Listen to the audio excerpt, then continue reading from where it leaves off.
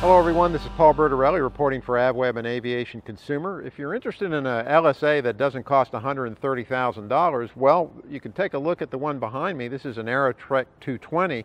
Now Aerotrek makes two versions of this, the 220, which is a tail dragger, the airplane we'll look at, and the 240, which is a conventional tricycle gear. Now, fully equipped, these airplanes run about uh, 75 to $80,000, and we'll take a closer look at this and see what you get for those kind of prices, and then we'll take a brief flight in uh, J.D. Kinsley's 220. The Aerotrek airplanes are made in Slovakia by Aeropro CZ, which has been in business since about 1990.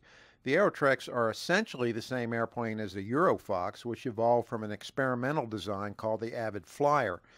It's standard rag and tube construction with welded 4130 tubing and polyfiber cover. As LSAs go, these airplanes are very light with empty weights under 700 pounds.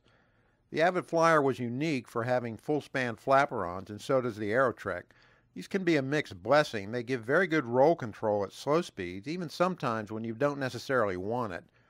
Because the flaperon structure is entirely outside the wing, it gives the Aerotrek another advantage. The wings can be quickly and easily folded for storage. This owner folds the left wing so he can share a hangar with a Cherokee. The airplanes appear well constructed, although not necessarily lavish. For example, the rudder pedals are just bent tubing, and flap and trim handles are simple levers with no detents. That exposed tubing leads to the parking brake. The seats are comfortable and there's an adequate, if not large, baggage area. Like the Eurofox and the Kit Fox, the Aerotrek airplanes have clear plastic doors which makes for superb in-flight visibility. The base price of 69,850 gets you a bare steam gauge panel without even a radio. Most owners opt for some kind of glass or GPS in the panel, so typical invoices are in the mid to high 70s. The base price also includes an 80 horsepower Rotax engine, which virtually no one buys. The 100 horsepower Rotax, which is approved for auto fuel, including E10, is the engine of choice. Visibility over the nose during taxi is excellent, and even on a blistering hot day, the open doors make for a comfortable cabin. Given the light weight and the 100 horsepower Rotax, the Aerotrek has excellent short runway performance. It's easily off in about 500 feet or less in grass or on pavement. Right, so uh, we're just off Herlong Airport. Uh, we're west of Jacksonville. I'm with J.D. Kinsley and uh, his uh, Aerotrek. Uh, J.D., I noticed coming out of Herlong, we had a pretty good climb rate because we're spiraling up to get out of that restricted airspace, doing easily 700 feet a minute. That's with two aboard. That's two aboard, and uh, easily in the wintertime, I see generally with just me, 1,200 feet a minute plus in a climb, and usually traffic pattern altitude at Herlong's 1,000 feet. I'm at 1,000 feet before I'm at the departure end of the runway, so the thing really climbs. Great climb performance.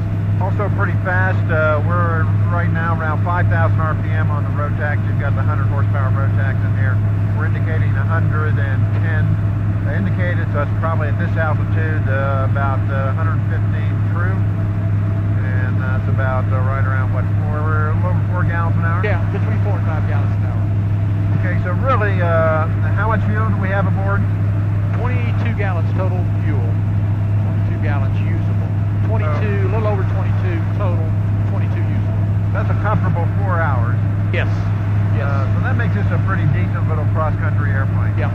About, about 400, 400 or 500 miles, you know, and give you 30 minutes or 45 minutes, and, you know, it's, it's, it's pretty accurate there. Good, good. Uh, of course, your fanny can't take much more than four hours Yeah. anyway. I can't.